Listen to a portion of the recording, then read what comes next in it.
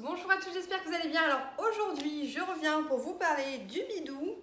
Euh, vous avez été nombreux à me répondre sur ma vie, première vidéo que j'avais faite au sujet de la naturopathie, de mon expérience.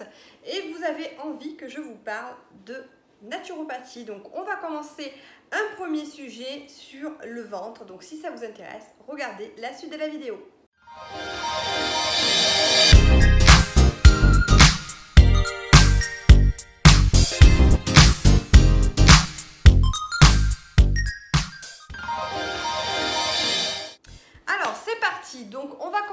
À parler de l'intestin, du ventre, etc. et de tous les problèmes qu'on peut rencontrer euh, à ce sujet. Donc c'est un des premiers problèmes pour lequel je suis allée voir une naturopathe et je suis allée consulter. Euh, c'est-à-dire qu'en fait à un moment donné dans ma vie je me suis dit euh, que j'avais vraiment quelque chose qui n'allait pas. J'avais, dès que j'avais des contrariétés ou que je mangeais quelque chose, j'avais le ventre toujours tendu, toujours gonfle, qui se mettait à gonfler sans savoir pourquoi.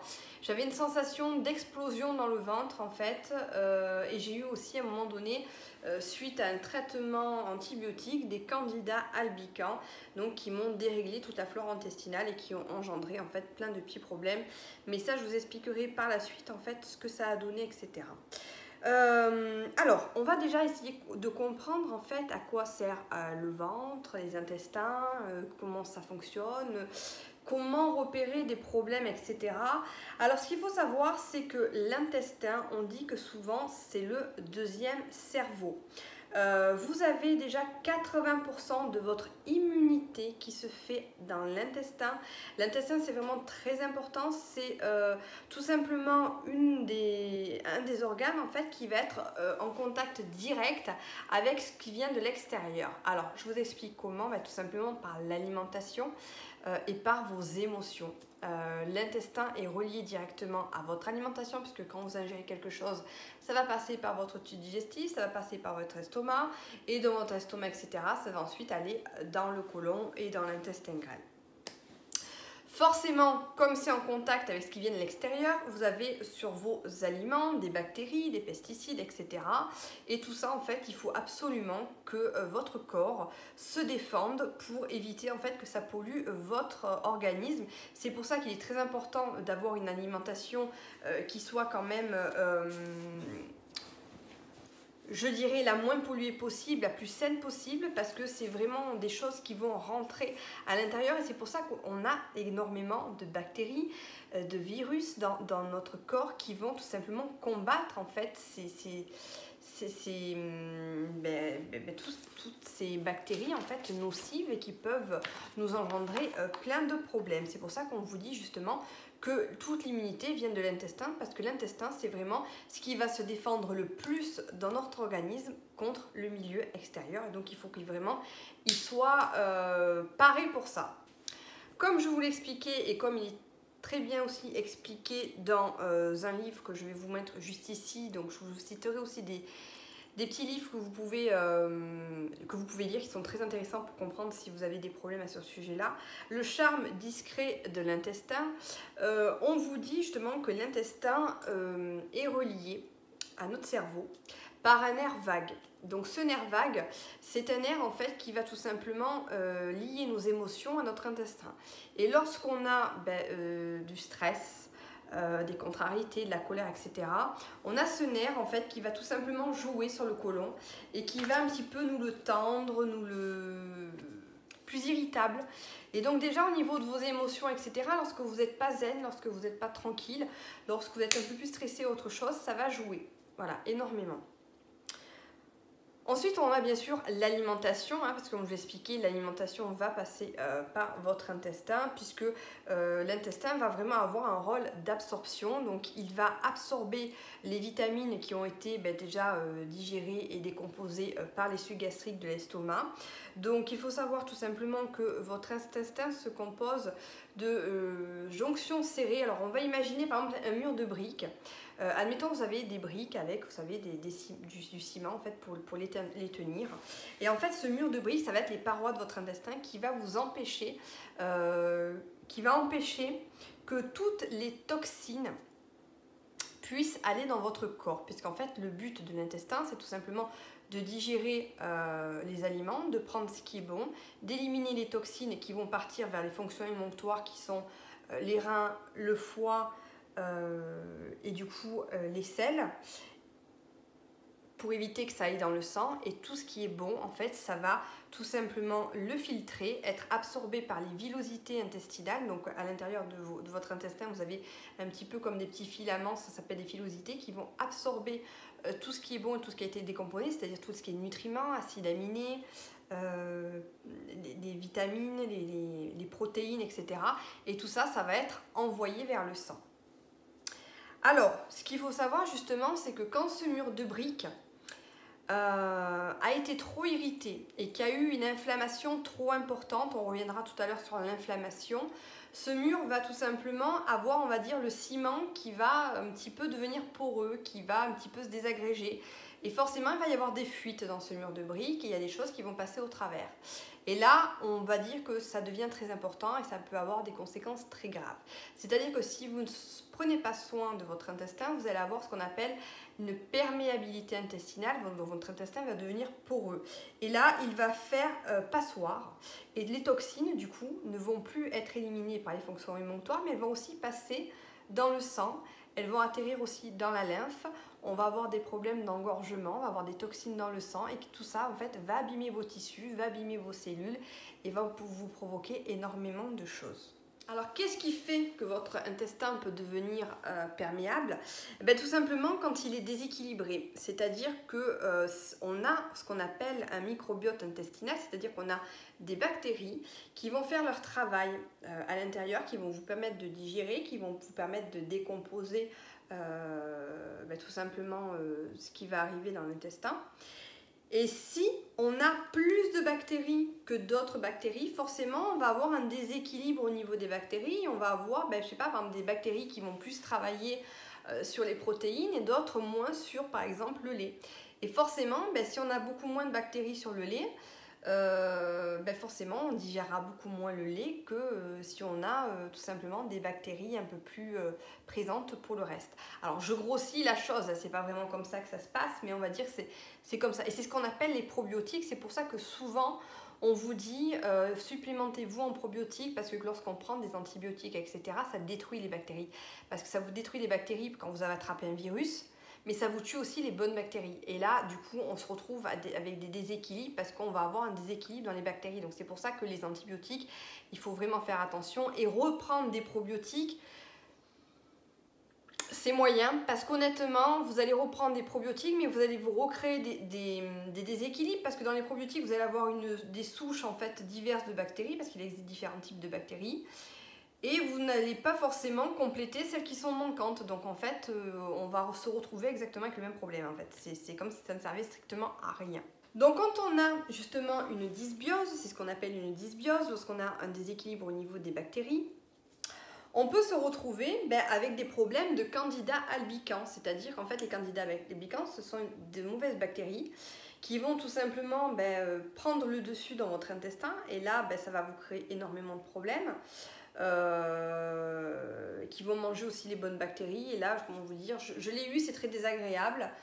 Euh, je m'en sortais plus, c'était très inconfortable. Alors, je laisserai chercher sur internet.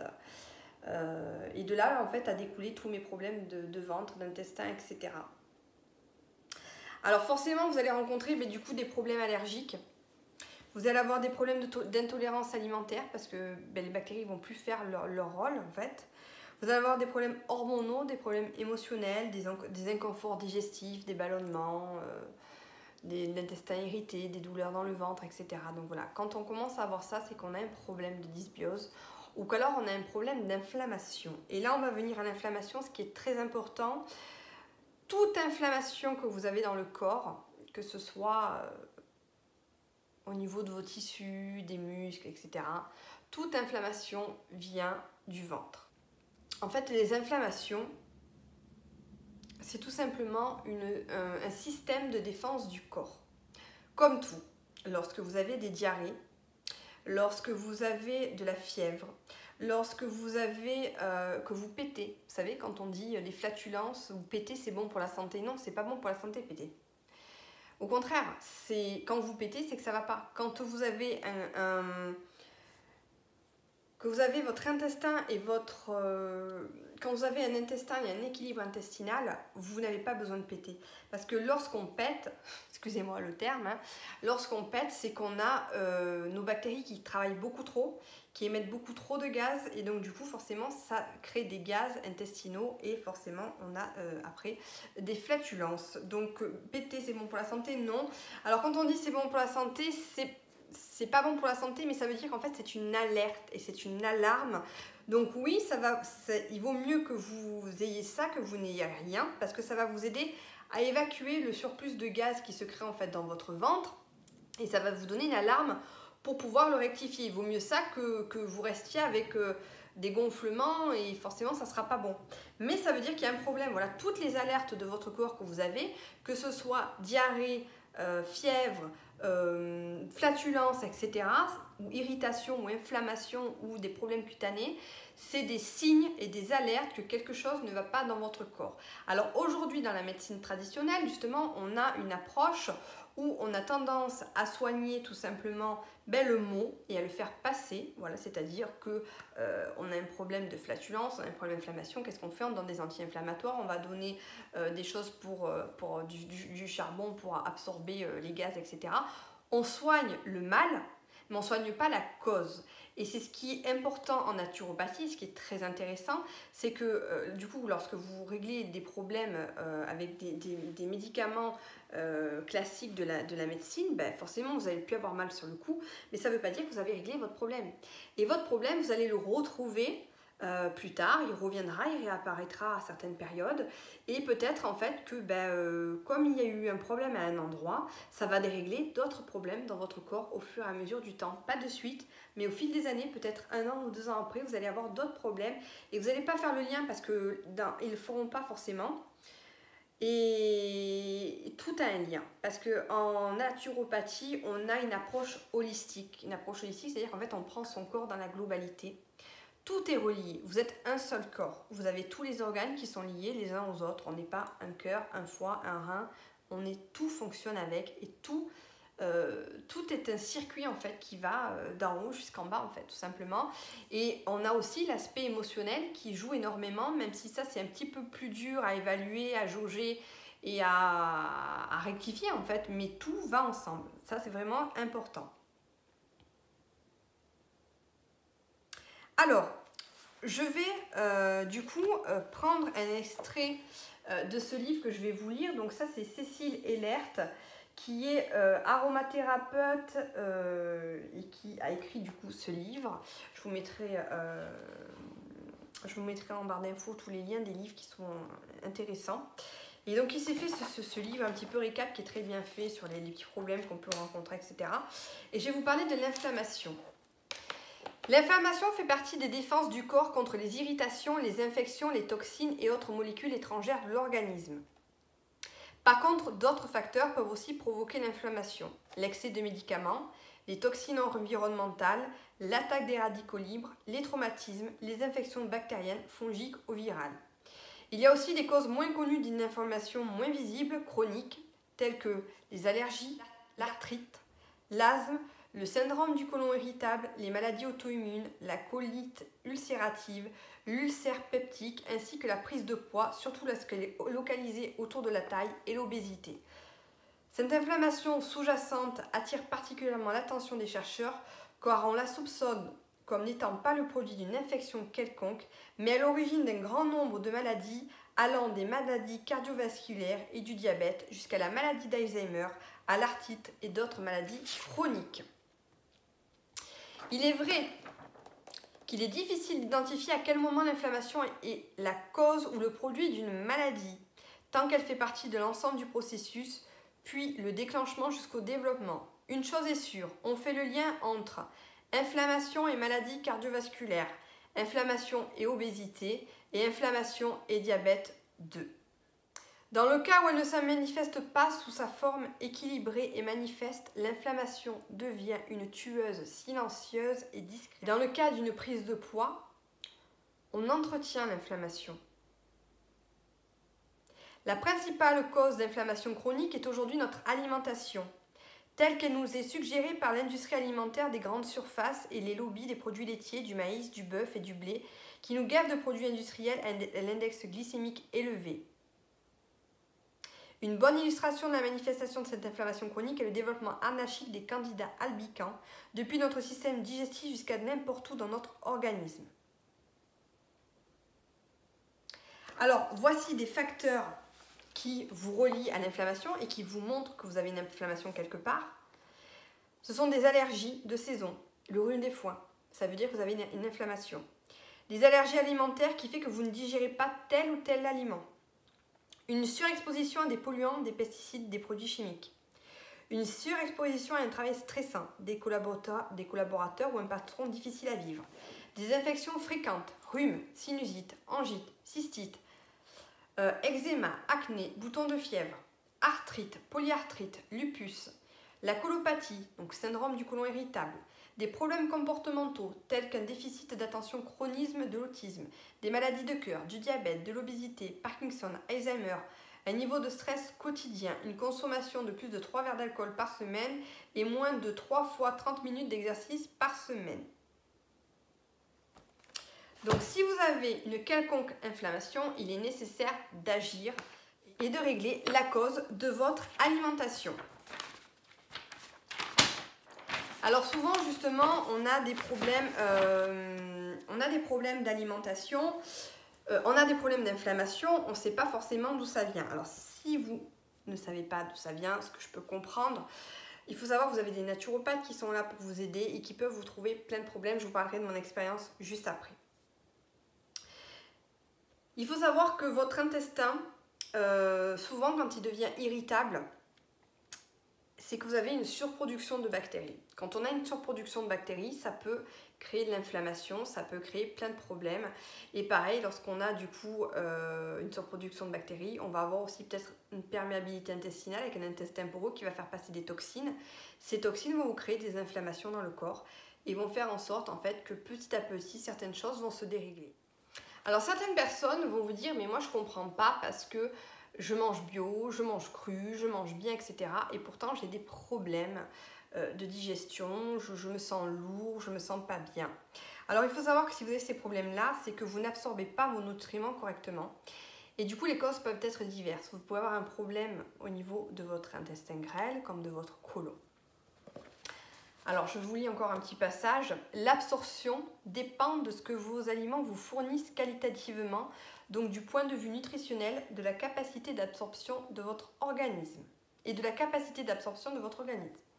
Tout, se passe bien tant que votre intestin grêle travaille normalement, c'est-à-dire quand il n'est pas endommagé par divers traitements, pas enflammé par des intolérances ou allergies alimentaires, ou excessivement spasmé par des contrariétés ou du stress. Or, notre nourriture fait passer des agents infectieux dans notre intestin. Virus, bactéries, mycoses, parasites, allergènes, toxines, produits toxiques fabriqués durant la digestion, qui l'endommagent et nécessitent que sa paroi interne soit renouvelée tous les deux jours afin d'être en mesure de poursuivre son action filtrante et de soutien immunitaire. La moindre anomalie dans l'intestin peut entraver l'absorption des micronutriments utiles et monopoliser le système immunitaire pour combattre des éléments pathogènes qui auraient dû être il n'y a pas que l'intestin grêle qui soit responsable de l'absorption, il y a aussi le côlon. Il a un rôle très important, un rôle de formation de la matière fécale en réabsorbant l'eau du bol alimentaire et en sécrétant du mucus. Un rôle d'élimination et de détoxification, un rôle de protection immunitaire de l'organisme. La muqueuse intestinale permet de sélectionner certaines substances bénéfiques et d'éliminer celles qui sont néfastes. Si les toxines s'accumulent, la muqueuse va finir par s'enflammer et s'infecter jusqu'au moment où sa sélectivité ne se fera plus. La paroi très, fragile du côlon devient perméable. Les toxines et les substances pathogènes qui devraient être éliminées peuvent alors s'échapper dans l'organisme et monopoliser le système immunitaire. D'où la fatigue, les prédispositions aux infections, les douleurs abdominales, etc. On ne peut pas parler de nutrition sans aussi expliquer la flore intestinale et les fibres. Alors ça, c'est un autre sujet. Euh, mais comme je vous l'expliquais, quand on tombe souvent malade, quand on, euh, quand on attrape souvent des rhumes, etc., c'est tout simplement parce que votre système immunitaire est affaibli. Et si votre système immunitaire est affaibli, c'est que quelque chose ne va pas dans votre ventre. Parce que comme je l'ai expliqué, le système immunitaire vient du ventre. Donc si votre ventre n'est pas capable de faire barrière contre tous les virus qui peuvent venir de l'extérieur, contre ce que vous mangez, la fatigue, etc., c'est parce qu'en fait il est en train tout simplement d'utiliser cette immunité pour régler quelque chose qui ne va pas déjà à l'extérieur, à l'intérieur, il, il a du mal à un moment donné bah, à régler le problème extérieur qui rentre parce qu'il y en a trop. Et là, ben, vous tombez malade, vous vous affaiblissez, vous avez des inflammations, vous avez d'autres problèmes. Alors maintenant, je vais vous parler de mon expérience par rapport à tout ça.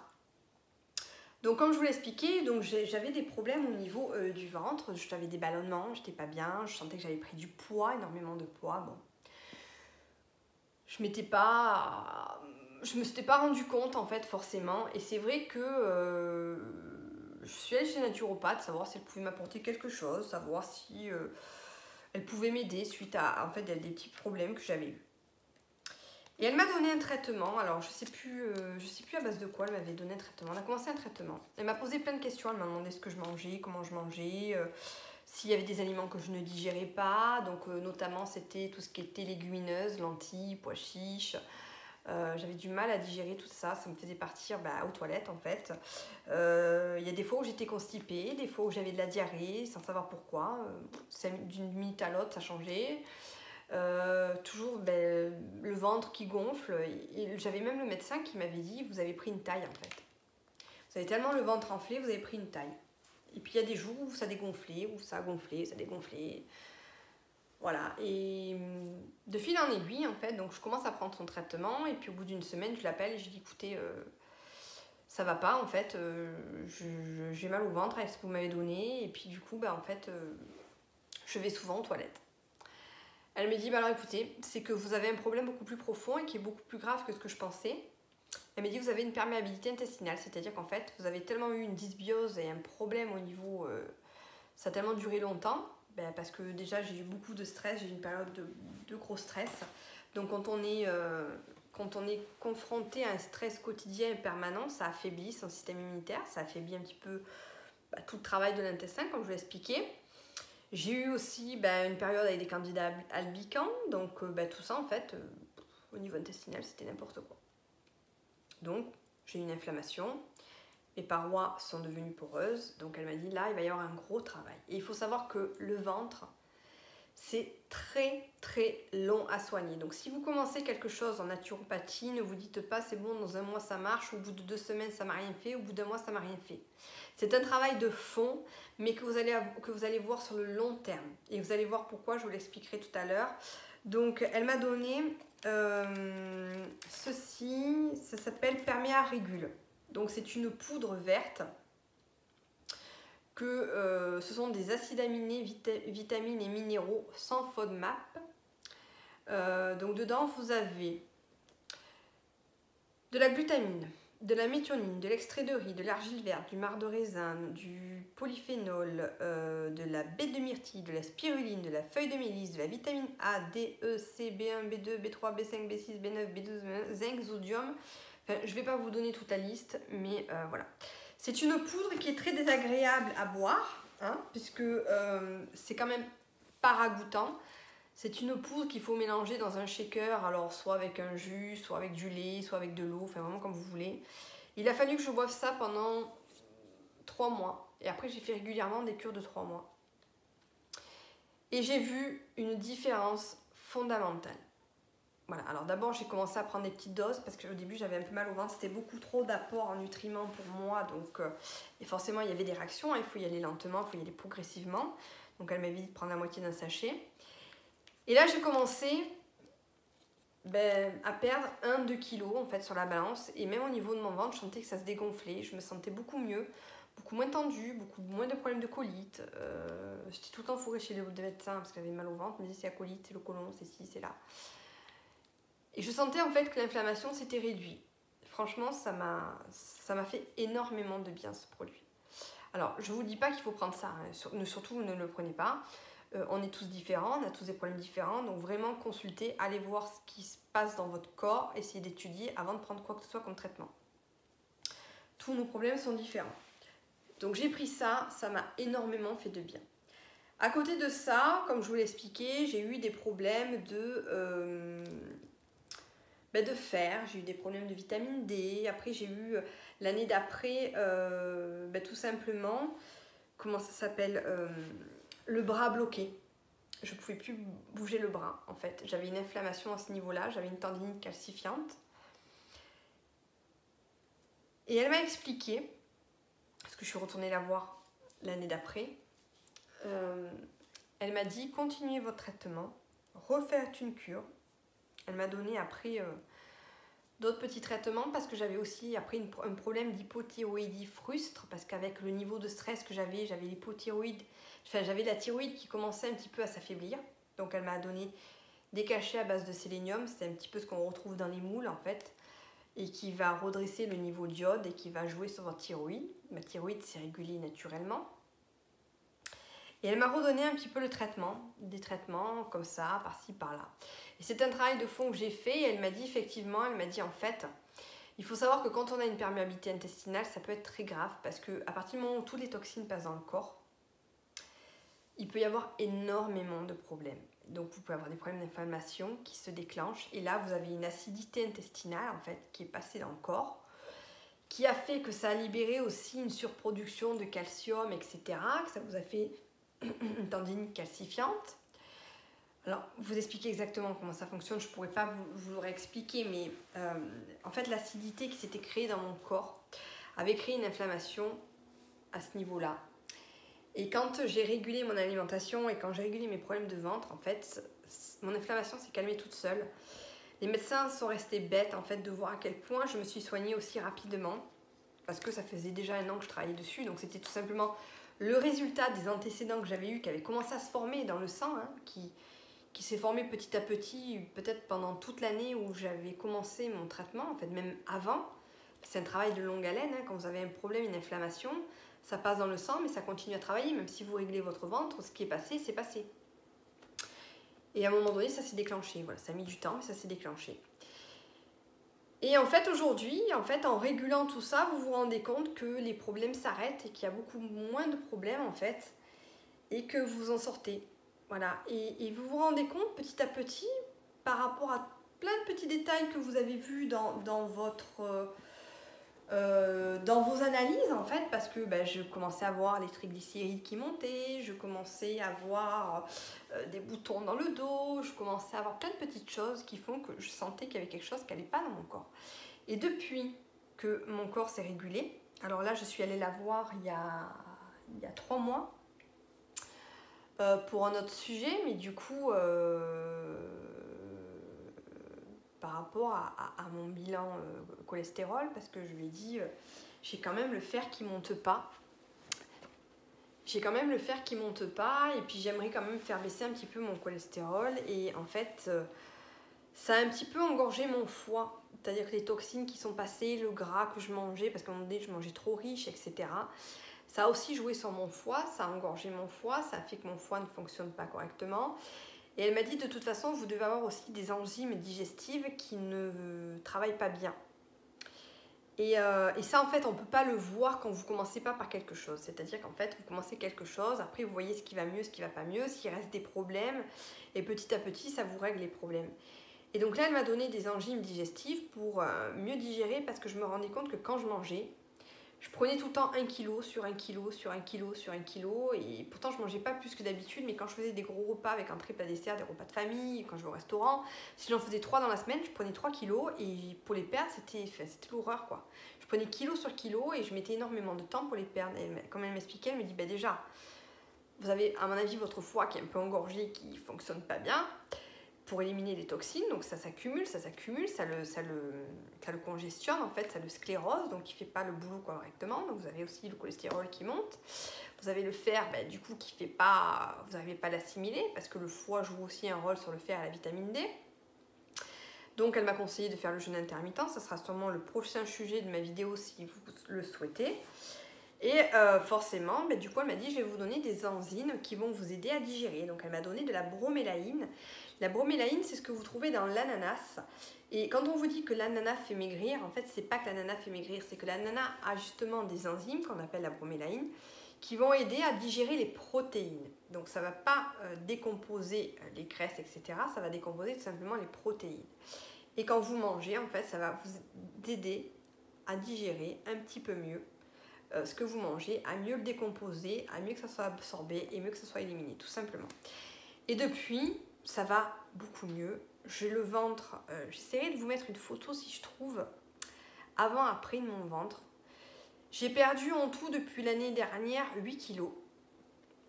Ouais, c'est ça, 8 kilos. Je me sens dégonflée, je me sens beaucoup mieux au niveau de mes analyses, au niveau de tout. Dès que j'ai du stress ou que je mange un petit peu... Euh, un petit peu plus que d'habitude ou quoi, mais je reprends pas autant qu'avant. Je digère beaucoup mieux, j'élimine beaucoup mieux et je me sens nettoyée. Je, savez, de plus se sentir ballonné, de plus se sentir gonfle, de plus se sentir lourd, je me sens beaucoup mieux. Et je sens en fait petit à petit que tous ces traitements que j'ai fait, tout ce travail qu'on a fait de longue haleine, alors ça, ça a mis du temps, ça a bien mis trois ans. Ouais, ça fait bien trois ans que je travaille sur ça, que j'ai commencé mes traitements. Et jusqu'à l'année dernière, c'était pas tip top, hein. ça allait mieux, mais c'était pas ça encore. Hein. Et, en fait, ce travail de longue haleine qu'il y a eu, en fait, finalement, ça m'a fait énormément de bien parce qu'aujourd'hui, trois ans après, j'ai les résultats. Et j'ai beaucoup moins de problèmes et je sais que ça va aller de mieux en mieux parce que ça va me créer beaucoup moins de problèmes. Je tombe jamais malade, quasiment jamais malade.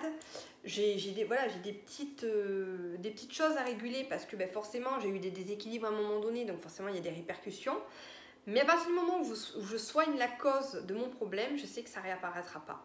Et qu'il va falloir maintenant que je fasse attention pour éviter de me réenflammer et de retrouver ces problèmes. Alors si j'ai un conseil à vous donner justement pour régler vos problèmes, bah, déjà aller voir une naturopathe. Pourquoi pas?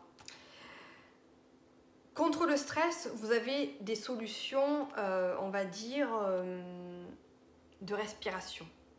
Alors, on s'en rend pas compte, on se dit ça sert à rien. Vous savez, tout ce qui est yoga, tout ce qui est méditation, on se dit mais ça sert à quoi ces trucs? C'est pour les, illuminer. Non, en fait, non. On croit ça, mais honnêtement, il y a beaucoup de choses qui jouent sur les sons, vous savez, les sons tibétains, etc. Ça joue en fait dans votre inconscient sur. Euh, ça détend, ça, ça apaise. Et à partir du moment où ça détend, ça apaise, ça détend vos muscles, ça détend vos organes, ça détend ça vous fait baisser un petit peu votre taux de cortisol parce que c'est en fait l'hormone du stress. Ça enflamme bien des choses et quand il diminue, du coup, c'est que mieux. Et au niveau de la respiration, quand on respire, on détend. Vous savez, on détend. On s'en rend pas compte, mais on détend. On permet qu'il y a des choses qui fonctionnent, etc. Alors, je vous renverrai des vidéos à ce sujet si ça vous intéresse. Euh, je vous en parlerai à la fin de la vidéo. Vous comprendrez pourquoi. Et au niveau de l'alimentation, en fait, euh, il va falloir travailler tout simplement sur les fibres. Il va falloir manger un petit peu plus de fibres. Parce que vous avez les fibres euh, solubles et non solubles. Les fibres solubles participent à l'élimination du mauvais cholestérol. Elles vont ralentir l'absorption des glucides, donc du coup réduire les risques de diabète. Elles vont produire des acides gras indispensables au bon fonctionnement du métabolisme. Elles vont empêcher la réabsorption des sels biliaires sécrétés par le foie et produisent du dioxyde de carbone, de l'hydrogène et du méthane dans l'organisme. Donc les fibres solubles, ça, va être par exemple l'avoine, l'orge, la poudre de psyllium, les noix et graines, les, légumineuses et les fruits. Et les, fibres non solubles, alors elles sont importantes pour balayer les intestins éviter l'encrassement du système digestif, mais il est important de connaître leur pouvoir irritant et donc de les doser soigneusement. Donc on trouve des fibres insolubles dans les légumes riches en cellulose, tels que les brocolis, les asperges, les céréales entières, les noix, les graines, etc. Il est important, en plus d'un traitement, de, rééquilibrer en fait son alimentation, parce que si vous continuez derrière à manger n'importe comment, ça ne va pas le faire, et vous vous en sortirez pas. C'est vraiment, euh, il, faut être, euh, il faut être consciencieux, il faut être déterminé, et le, moindre excès et tout peut vraiment, euh, je dis pas qu'il faut pas en faire, mais si vous de suite vous trouvez toutes les excuses pour retomber dans dans le mauvais schéma, enfin vous n'allez pas vous en sortir parce que c'est déjà tellement long. Essayez du coup d'éviter aussi des produits avec pesticides, hein, forcément, ben, tous les produits voilà, qui sont pas qui sont pas clean en fait, les produits de grande surface, ou alors bien les laver, etc.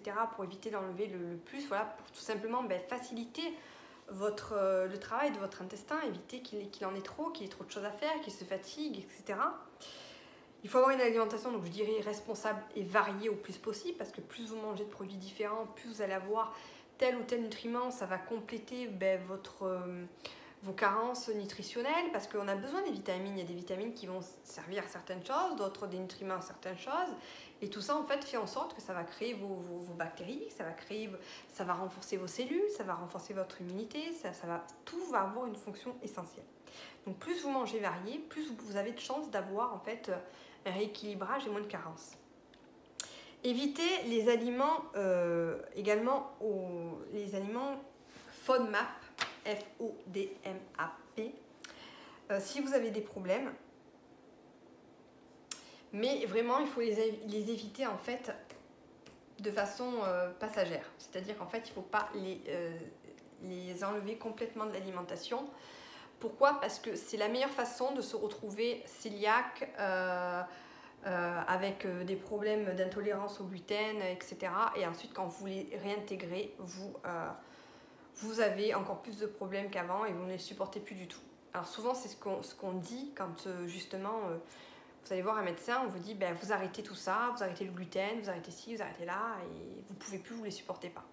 Oui, d'accord. À un moment donné, quand votre intestin ne supporte plus, qu'il n'arrive plus, vous êtes irrité, il faut l'arrêter.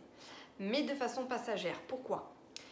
Ben, tout simplement parce que euh, votre corps s'adapte. Le corps est très intelligent. Donc, à un moment donné, quand euh, ben, vous n'avez peut-être pas assez d'enzymes, de, de, de bactéries qui va, qui va digérer, euh, donc il n'y en a pas assez. Donc, à un moment donné, il va falloir le supprimer pour que le travail, soit moins dur. Vous allez suivre un régime, votre corps va un petit peu se se, voilà, se reposer, etc. Ça va éviter de fatiguer pour rien. Et puis les bactéries vont se recréer. il va falloir réintégrer tout simplement ces aliments petit à petit pour que votre corps se réhabitue, que votre corps fasse en sorte en fait qu'il qu'il reproduise en fait ce dont il a besoin, apprenne en fait à le digérer.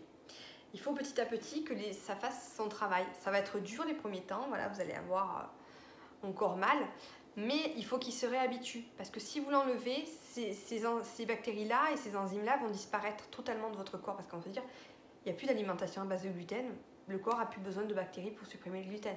Donc quand vous allez les réintégrer, catastrophe, vous n'avez plus de bactéries pour les digérer, c'est bon, vous êtes mort. Il faut les réintégrer petit à petit. Voilà, vous faites une pause, le temps que votre corps reprenne un petit peu, et après il va falloir les réintégrer petit à petit. Alors ça, voyez vraiment un spécialiste pour ça mais euh, il faut surtout pas enlever définitivement l'alimentation. Alors qu'est-ce que c'est que les FODMAP? Parce que tout à l'heure j'en parle. Les FODMAP, ce sont tout simplement des hydrates de carbone à chaîne courte, donc c'est-à-dire les oligosaccharides, les disaccharides, les monosaccharides, les alcools, qui sont peu absorbés par l'intestin. Euh, donc les monosaccharides, vous le trouvez dans le fructose, les disaccharides dans le lactose, euh, le les galactanes, enfin bref, tout ça c'est des termes chimiques qu'on comprend pas trop. C'est des aliments qui vont tout simplement euh, avoir du mal à être digérés par, par l'intestin et surtout par un intestin qui est irrité, qui est malade. Donc c'est pour ça qu'on vous dit souvent qu'il faut éviter les aliments à base de FODMAP quand vous avez des problèmes de ballonnement, etc. pour un petit peu le reposer. Pourquoi? Parce qu'en fait ce sont des aliments qui vont produire de, la fermentation. Et comme il fermente en fait dans, votre corps, ça va produire de l'hydrogène et ça va vous créer des ballonnements, des inconforts, etc. Et du coup, bah forcément, ça va, ça va vous irriter. Alors, les aliments euh, à base de FODMAP, vous pouvez en trouver la liste sur euh, Internet. Et vous pouvez également trouver une liste aussi sur les aliments pauvres en FODMAP. Euh, alors je vais vous donner des exemples. Par exemple, pour les légumes, vous avez les pousses de bambou qui sont bonnes, les poivrons, le chou de Chine, le concombre, le carotte, maïs, etc. Donc n'hésitez pas à regarder euh, quels sont les aliments qu'il faut éviter si vous avez ces problèmes-là. Voilà, bah écoutez, j'espère que cette vidéo vous aura plu, qu'elle a été, on va dire, un petit peu claire parce que voilà, quand on n'est pas non plus, euh, je dirais, médecin ou spécialiste de la naturopathie, d'un point de vue physiologique, c'est un peu compliqué à expliquer, mais euh, voilà, on a les grandes lignes. J'essaie de faire simple, j'essaie que ça soit accessible à tout le monde pour qu'on comprenne en gros comment ça fonctionne, pourquoi on s'enflamme, pourquoi, pourquoi si, pourquoi là, sans partir dans des termes spécifiques et génériques où euh, on ne comprendrait rien et j'aurais perdu la moitié de mes auditeurs. Et vous parlez du coup de mon expérience. Alors, si j'ai des, des, des, choses à vous recommander euh, pour les lectures, pour les vidéos, sachez que vous avez donc Le charme discret de l'intestin, vous avez le livre Power Biotique qui parle également de ce sujet. C'est tout est très bien expliqué, vous allez comprendre plein de choses, vous allez trouver tous vos problèmes en fait que vous pouvez rencontrer si vous avez un problème de ventre, parce que là j'ai parlé de certains troubles intestinaux, mais il y en a énormément. Vous avez également ce livre de Cécile Elert, donc elle a un blog, elle a également euh, une chaîne YouTube euh, sur différents sujets, donc euh, elle vous parle des méridiens, elle vous parle des huiles essentielles, elle vous parle un petit peu de tout n'importe quoi. D'ailleurs il y a un test aussi pour savoir si vous avez une candidose, elle vous explique quel test faire. Vous avez également donc du coup aussi euh, le blog de Régénéré de Thierry Casasnovas que je suis depuis longtemps. Je me suis abonnée à son magazine Régénéré, donc notre immunité. Vous savez que l'immunité c'est vraiment euh, très important. Ça va vous, ça part du ventre. Ça part du ventre et ça va vous aider à combattre en fait toutes les maladies, tous les virus, euh, vous, vous protéger en fait de l'extérieur, de tout ce qu'on a, surtout en ce moment. Euh, et, et, à tomber beaucoup moins malade, avoir beaucoup moins de problèmes, d'intolérance, d'allergies, etc. dont on ne pense pas que ça pourrait venir de là et ça vient pourtant de votre ventre. Et il y a également la chaîne Vérisme TV, donc là il y a, vous avez un naturopathe qui vous explique de façon plus scientifique ce qui se passe dans votre corps euh, en fonction de sujets. Donc je vous mettrai tous les liens en dessous de la vidéo pour que vous puissiez vous y référer. Et moi, j'ai énormément appris avec ça. Donc, vous avez des vidéos à thème, etc. où là, il vous explique vraiment concrètement tout ça. Je vous fais de gros bisous. Je vous dis à bientôt.